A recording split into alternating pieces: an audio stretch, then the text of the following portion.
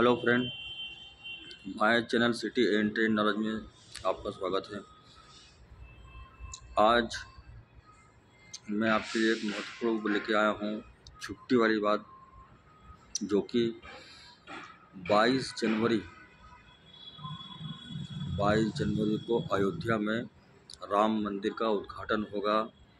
रामलला मूर्ति रखी जाएगी और उसका ओपनिंग होगा। तो उस दिन मध्य प्रदेश की सरकार जो है, मुख्यमंत्री मोहन लाल यादव ने यह डिसाइड किया है। उनकी पार्टी ने उन्होंने कि बाईस जनवरी को पूरा एमपी बंद रहेगा। मतलब स्कूल, कॉलेज, शराब की दुकानें, भाँग की दुकानें, जितने भी हैं, यह सब बाईस जनवरी को सब बंद रहेंगे। क्योंकि इस दिन यह डे दिन मना रहे हैं।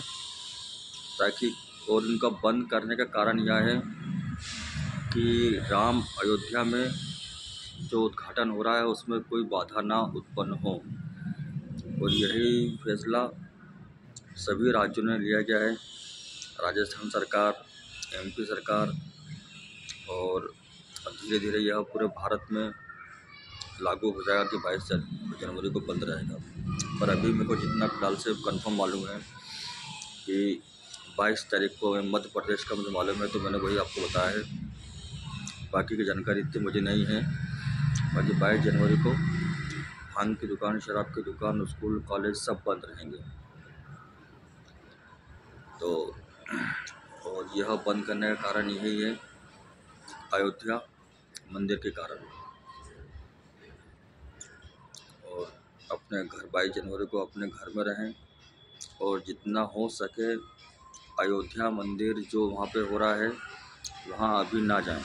क्योंकि वहाँ पर बाईस जनवरी को इतनी ज़्यादा भीड़ होगी कि वहाँ भगदड़ भी मच सकती है। इस कारण से जो हमारे नरेंद्र मोदी जी ने खुद कहा है कि आगे भी आप तेईस, चौबीस, एक महीने, दो महीने, तीन महीने, चार महीने में आप मंदिर में आ सकते हैं, कोई दिक्कत नहीं है। पर बाईस जनवरी को ही अत्यधिक भीड़ न लगाएँ, ताकि वहाँ कोई भगदड़ ऐसा माहौल ना हो। इसलिए खुद हमारे प्रधानमंत्री जी ने ये कहा है कि जितना हो सके बाईस जनवरी को ना आए, दूसरे महीने में, तीसरे महीने में आगे करके कभी भी आ सकता है, क्योंकि मंदिर तो अब हमेशा के लिए स्थापित हो गया है, बन गया है। और आपको मेरा चैनल पसंद आया तो लाइक और सब्सक्राइब ज़रूर करें।